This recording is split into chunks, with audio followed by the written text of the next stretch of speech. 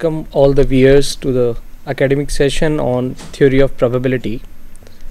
Starting with the learning objectives that we would have today, basic probability concepts and definitions, conditional probabilities and the application of Bayes theorem to find out the reverse probabilities. Starting with the very basic concept of probability, how we define probability. Probability is the chance that something is going to happen, some event is to occur it is the numerical measure of the likelihood that an event will occur. Like suppose it is expressed, it is also expressed as fractions and in decimals also as 0.16, 0.50, 0.88. It is the expression of how the probability is represented. More to it is the probability of an event must be between 0 and 1 probability of an event if is 1 that is it is certain to happen that the event will certainly occur and if it is 0 the implying that it is impossible to occur. It will never happen. After defining the probability concepts uh, the definition of probability let's understand the definition of event. What is an event? Event is a possible outcome of an activity whatever we does. Suppose we toss a coin. What happens in tossing a coin? That either a head will appear or a tail will appear. So head is the appearance of head is a event.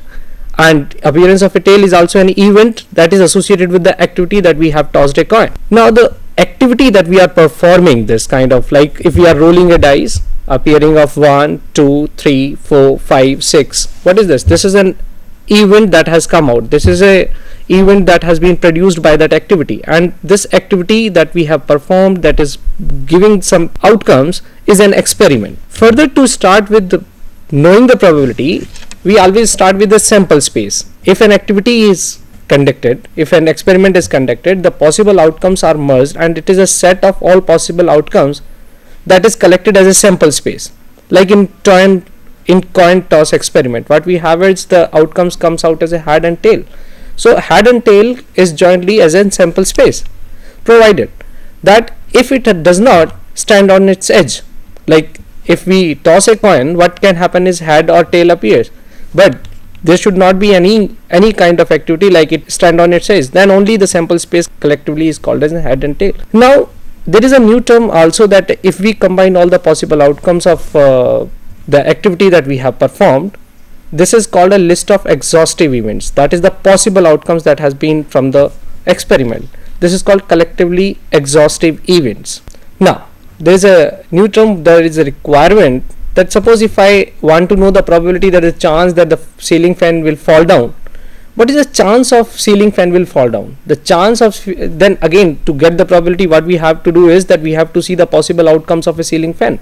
Possible outcomes of a ceiling fan if we collect it all together it can stuck it can revolve or it can fall down whatever this. The problem is in this case is that we are biased in collecting the sample space. That is what we have is that they are not occurring with equal chances this is a requirement this is a requirement if we calculate a probability a chance of something to happen then the sample space the events that has been collected in the sample space must have a equal occurrence of chances. That is events occur with equal chances in an experiment. This is called equally likely events so this is the first requirement of a probability to calculate that the events that you are keeping with the sample space that must be equally occurring so this is a this remains a question. What would be the sample space of falling down of a ceiling fan? You cannot do it. Like if we are tossing a coin tossing a coin that head and tail both have equal chances to occur so sample space has been combined by that. If suppose we roll a dice we are rolling a dice that is 1 2 3 4 5 6 what is happening there is that all have equal chances to occur.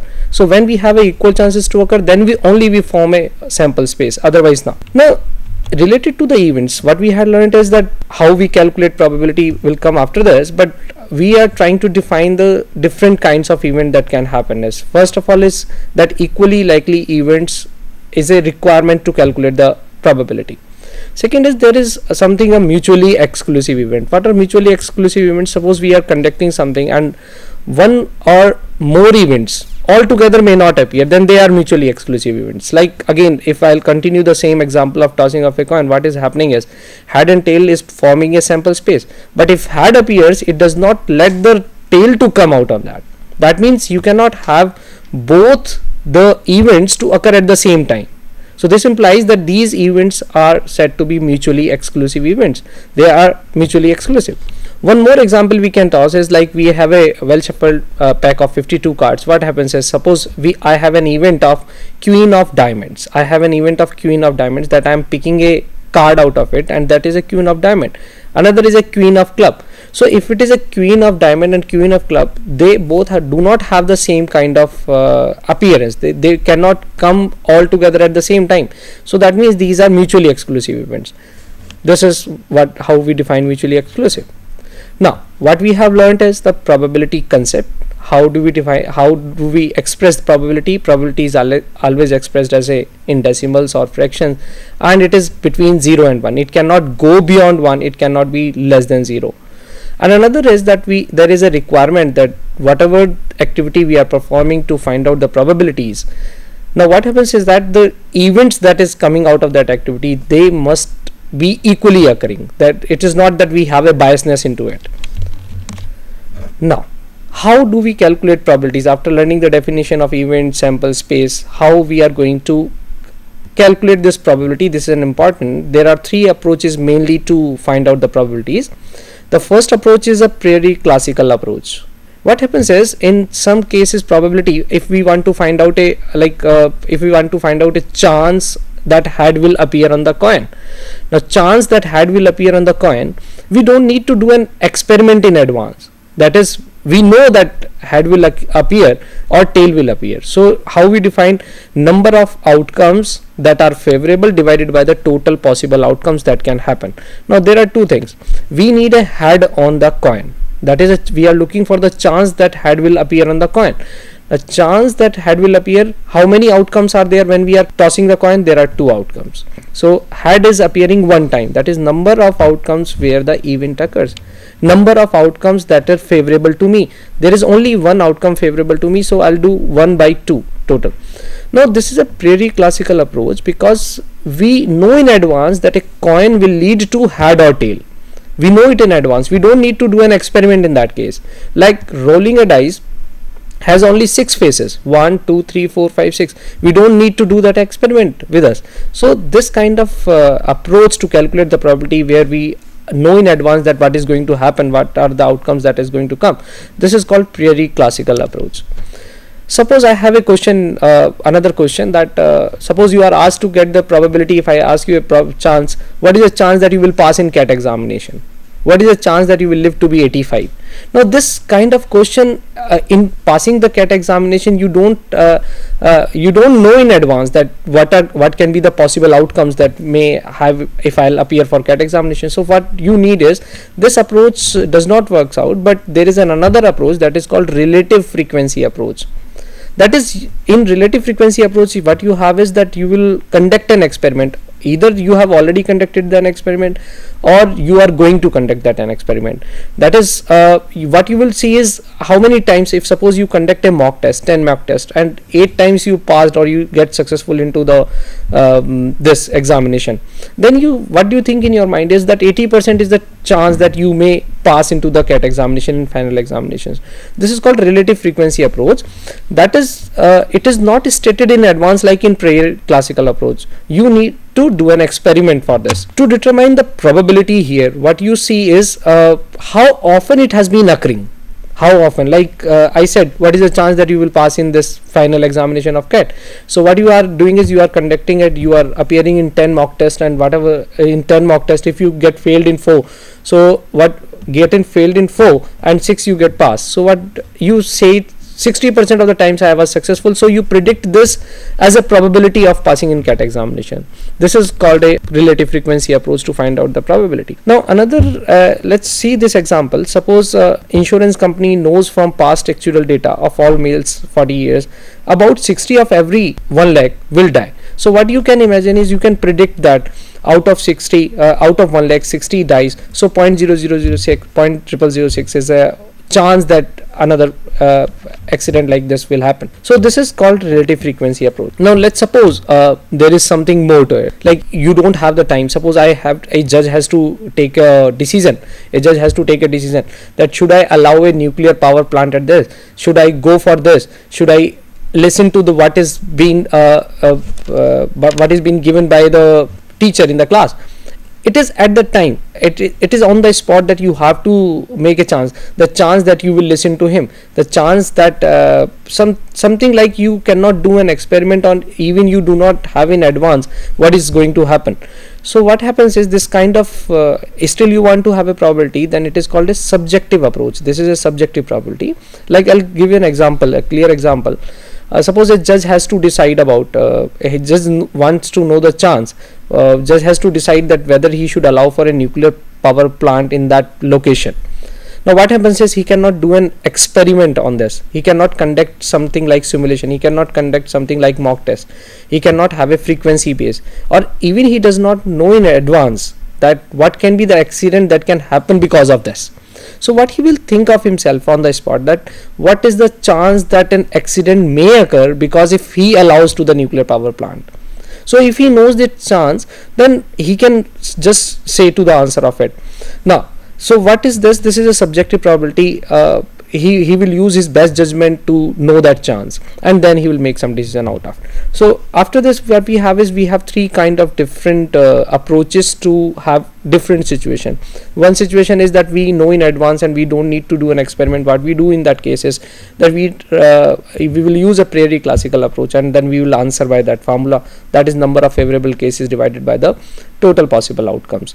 Second is the frequency approach where we are doing that experiment. Uh, we are conducting an experiment and we are looking up the number of uh, chances that is in favorable out of the uh, trials that I had done. Then we divide it and it is called relative. And third case we do not have the chance to do an experiment. We even do not know in advance whatever comes out of the judgment. That remains the answer to me. Let's see to the examples of some priori classical approach that uh, how how we do it exactly.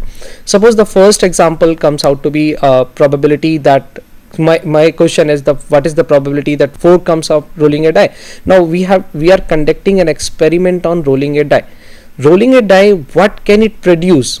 So that what it can it produce? That is a list of possible outcomes i must have to collect. I must have to collect the list of possible outcomes and this is look at the first phase second two dots either three dot either four dot either five dot or either six dot. So i have collected all the possible outcomes that can happen in conducting a rolling of die. This is called a sample space. Now what is in favor of me?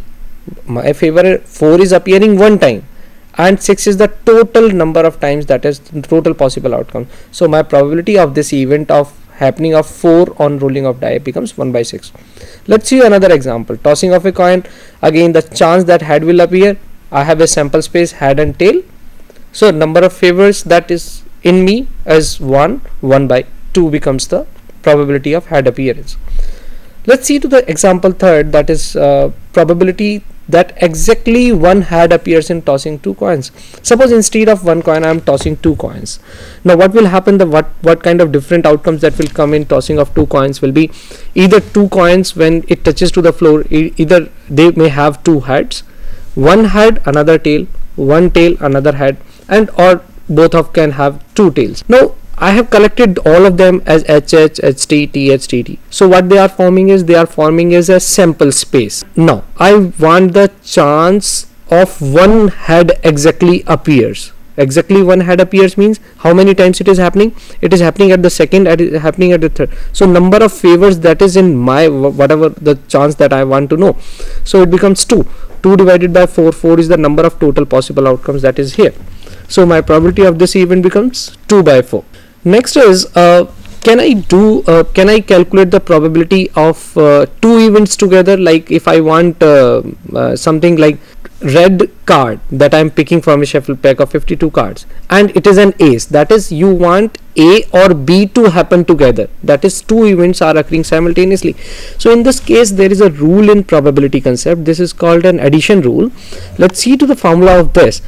P if A is an event or B is an event so what are you doing either A is appearing or B is occurring either A is occurring or B is occurring the chance of A or B is determined by PA plus PB minus PA and B that is common to A and B means common of A and B that is when A and B occur simultaneously. There is a difference between A or B and A and B. A or B says that either A appears or B appears. A occurs or B occurs both. Now when I am saying A and B means both occurring at the same time. This is intersection. Now what happens is this is PA or B is a form. Now if suppose they do not have anything in common they do not have anything common that is mutually exclusive. I defined earlier that mutually exclusive events. If a and b are mutually exclusive events then it means that they cannot occur together. So a and b will not have in common. And in that case pa and b will be zero. So that's what the formula becomes. Pa or b equals to pa plus pb pa and b because was zero. It is a uh, it comes out like this. A and b are mutually exclusive then p and b has to be 0 let's see the uh, application of this addition rule into a problem. I want to know the probability of drawing either an ace or a red card. If you define a well shuffle of 52 cards how many red card? We have 26 red cards.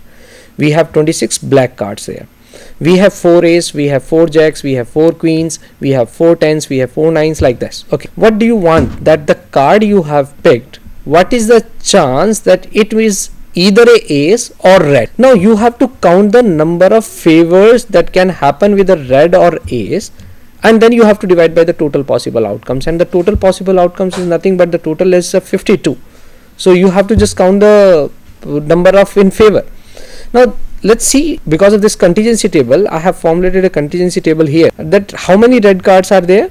Red are 26 black are 26 in red ace is 2 non-ace is 24 black is 2 2 ace is black and 24 non-ace are black. So what I had is I have bifurcated into red and black and ace and non-ace.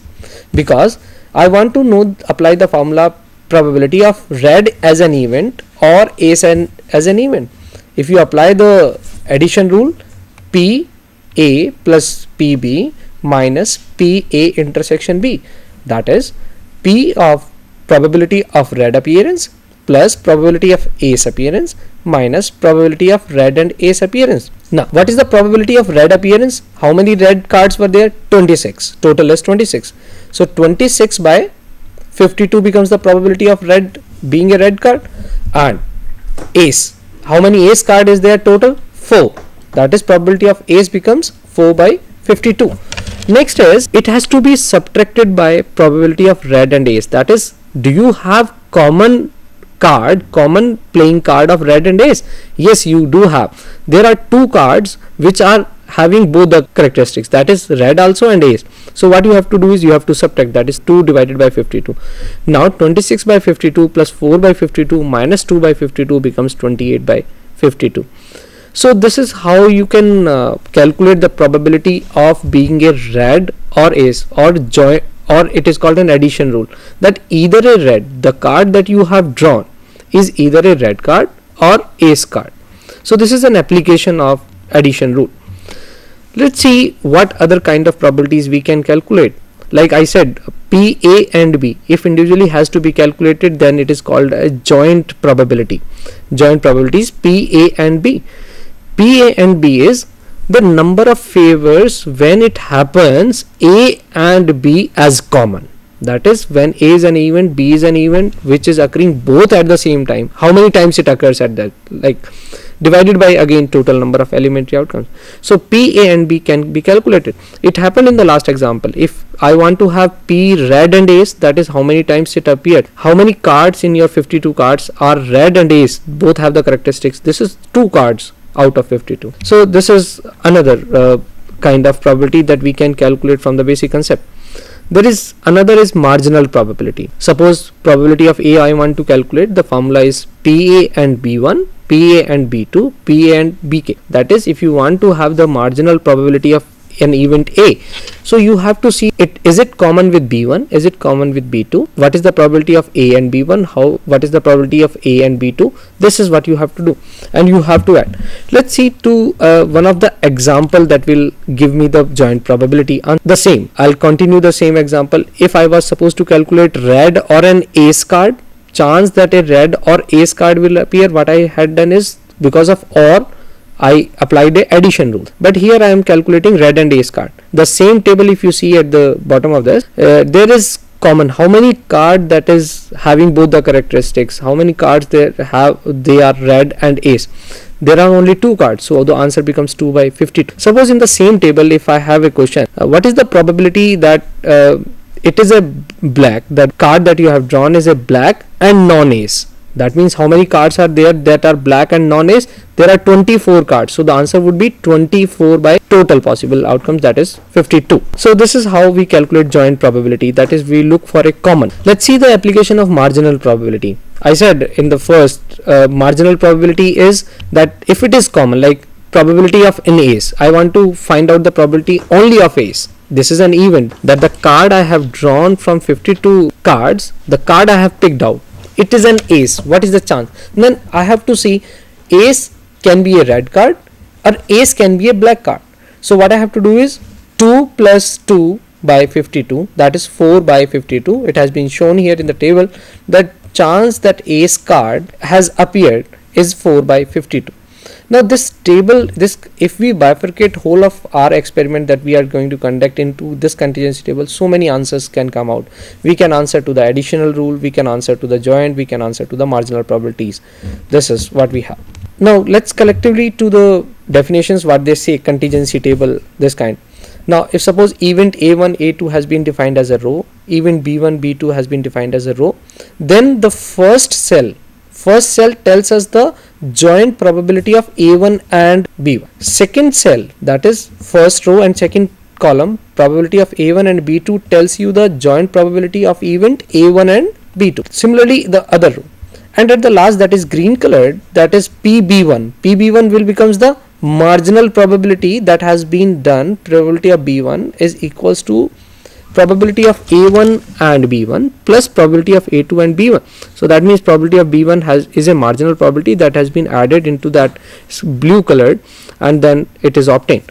And one thing to note the total of the probabilities in the last right hand bottom of the contingency table is 1 that is you cannot go beyond 1 every possible outcomes if added total possible outcomes if added cannot go beyond 1 so the chance of uh, totality is always 1 We'll solve a numerical example clearly. Just read to this numerical example. A sample of 500 respondents was selected in a large metropolitan area to determine various information concerning consumer behavior. So that was a survey on 500 respondents. Among the questions asked was, do you enjoy shopping for clothing? Of 240 males, 136 said yes, that they enjoy shopping for clothing. Of 260 females, 224 answered yes okay that we enjoy shopping.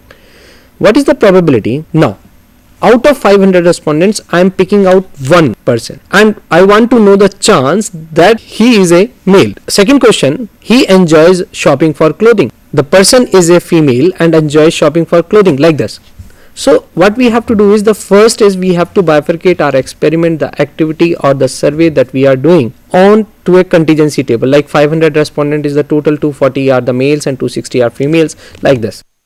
Like see to this contingency table this is appearing. Do you enjoy shopping? I have yes or no. Total males is 240 written.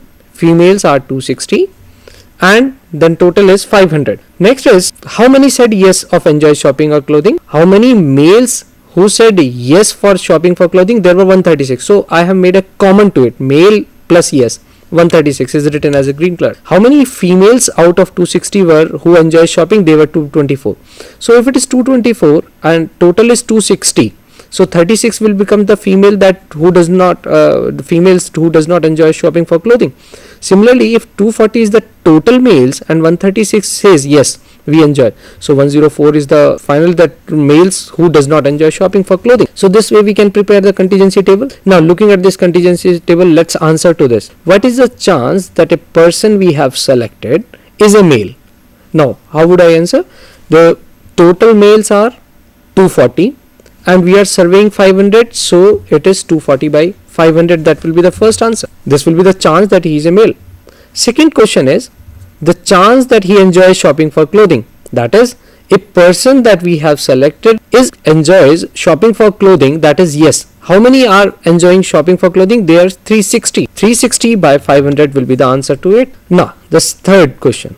What is the chance that the person is a female and enjoys shopping for clothing. Now is a female and enjoys shopping for clothing. That is the person we have selected should have both the character. He, the person should be a female and should enjoy shopping for how many are there? There are 224 just see the contingency table. There are 224 those are female and enjoys shopping for clothing. Next is what is the chance that the person is a male and does not enjoy shopping for clothing? That is male and does not enjoy. Both the that the person should not enjoy shopping for clothing and meal. How many are there? 104. 104 by 500. Next is next is a different question. Chance that is a female or that means either a female or enjoy shopping for clothing. Now we have to apply an addition rule. Addition rule says that probability of female that is 260 by how many females 260 by 500 plus 360 by 500 minus the common that is 224 by 500 and the final answer will come out to be 396 by 500 now these all fractions can be further simplified into fractions. 245 uh, 240 by 500 can be simplified and 360 by 500 but remember the probability should never never be less than 0 and above 1 so what is happening is either we can represent them as a fractions or we represent as a decimals. No issue.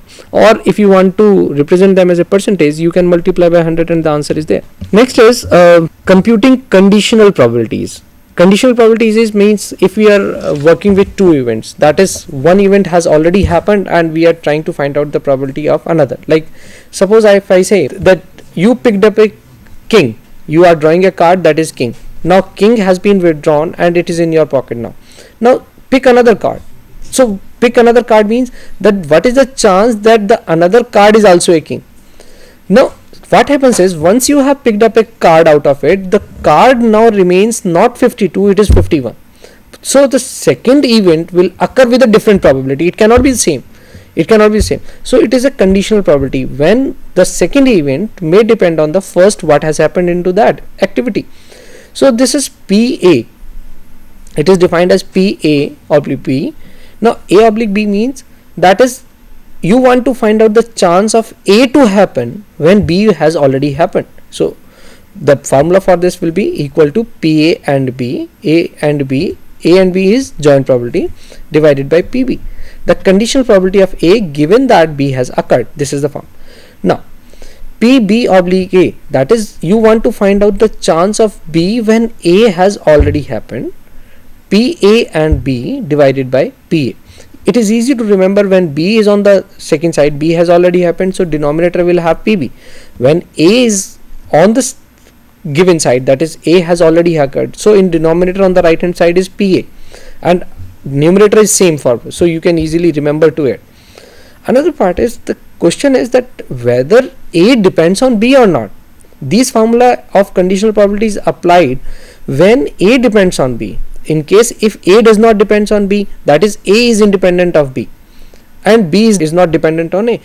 When this case happens, then see to the last of this slide, if A and B are independent events, then P A oblique B is nothing but A because A does not depends on B and you are looking for the chance to find out A when B has already happened when A does not depends on B so it will be PA similarly into the second question into the second if you want to find PB oblique A then B does not depends on A. In situation if B does not depends on A the above formula is applied only if A and B are dependent. If A and B are independent then the lower side of the formulas will be applied let's see to the same. I'm continuing with the same. That is 500 uh, were the total surveyed and then i bifurcated 220 uh, 240 were the female uh, males and 260 were the females. And i asked certain questions whether you enjoy shopping for clothing or not like this. Now i raise another question. What is the chance that a male respondent has been chosen? That suppose now out of 500 what we have done is we have chosen a male. We have chosen a male. We have already know that the person is a male. Now what is the chance that he enjoys shopping for clothing? In case the male has been chosen so you know already that the person is a male. So the same contingency table is applied to the question. But to see the answer the male has been already selected. You want the chance that E that is enjoy shopping for clothing. So the formula is applied E and male divided by P male. That is first the joint probability of E and male is 136 by 500 and probability of happening male that the person is a male 240 by 500 let's see the back to this question again. Already I have selected the person as a male. What is the chance that the person does not enjoy shopping for clothing? So what you will have is e dash oblique male. E dash denotes that he does not uh, the person does not enjoy shopping for clothing now e dash oblique male is probability of joint probability of e dash and male divided by probability of male. Now in this case this is 104 by 500 already we have calculated this divided by 240 by 500 the answer is in decimals now 0.43 so this is how we say about uh, conditional probabilities. Next uh, this is multiplication rule. This is the same if we cross multiply if we want to find out joint probability using this conditional probability formulas.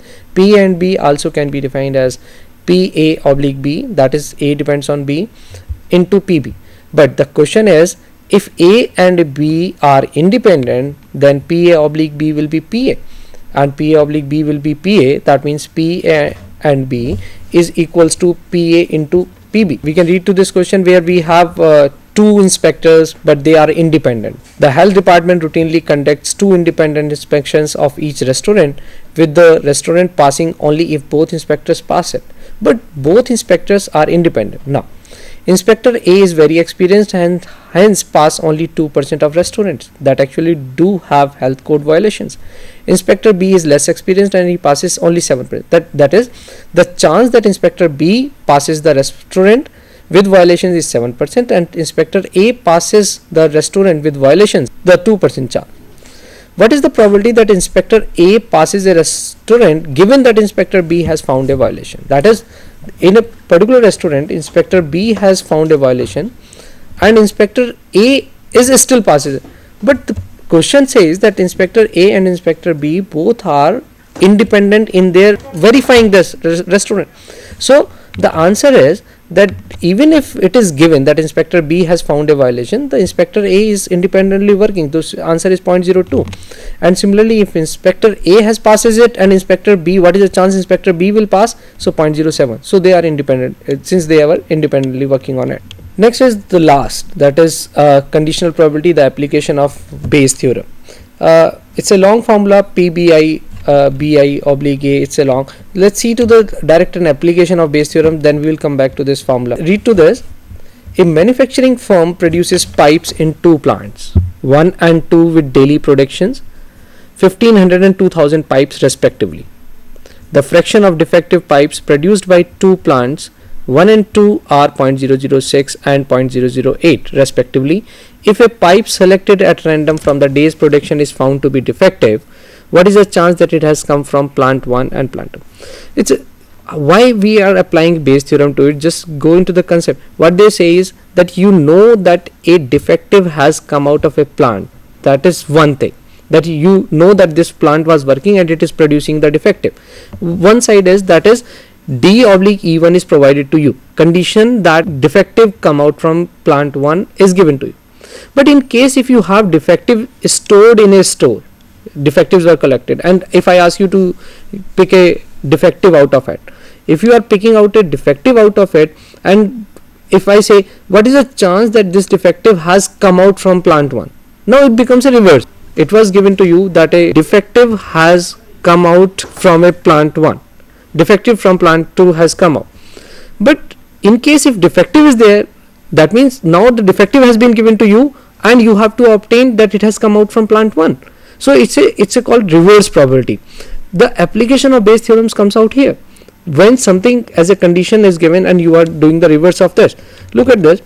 Just collect it all. That in a manufacturing company what we have is E1 is the production from the plant 1 E2 has the production from the plant 2 probability of E1 that you know it's a prior probabilities that you know that 1500 was coming out from plant 1 so 1500 by total 3500 and pe2 that is this is the chance that a item will come out from E1 not defectives. If i denote by d what is given to you? It is given that p d oblique e1 because you know that this was plant 1 and defective come out from here that the chance is 0.006 d oblique e2 it is given as 0.008 now goal is to find E1 oblique D and E2 oblique D. Look at this. This is a complete table. If you see it, it will calculate you the reverse. First row E1, P E1 is given to you, D oblique E1 is to given to you, and what you have to obtain finally is E1 oblique D. Look at the calculation.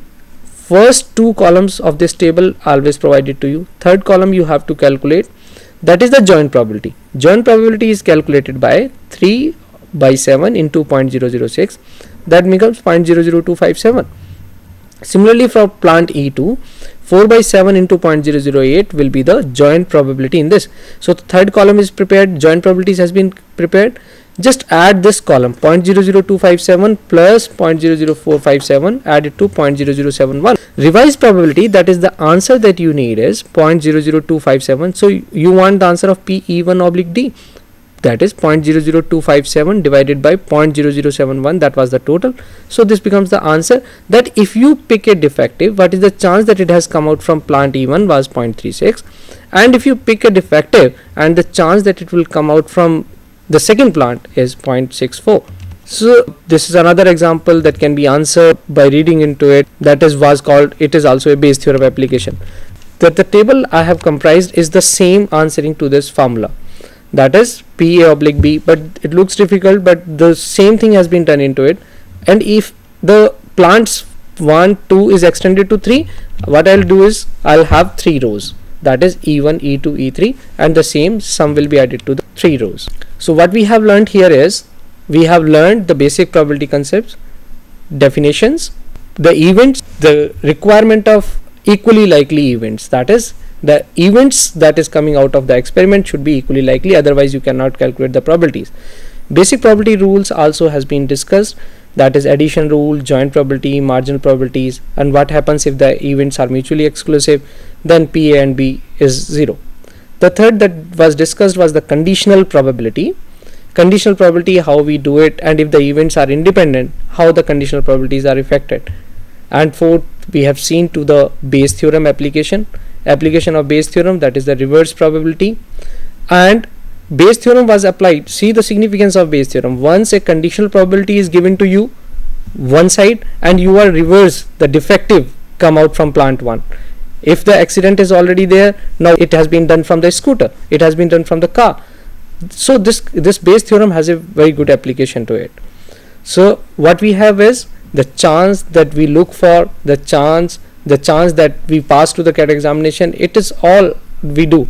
But remember again that the chance can never go beyond 1 it can never be less than 0 it can be represented as fractions and all this. So we I summarize here with this that you will be able to calculate your probabilities your daily routine exercises with this. I thank you for this all viewers to my session on this theory of probability. Thank you so much thank you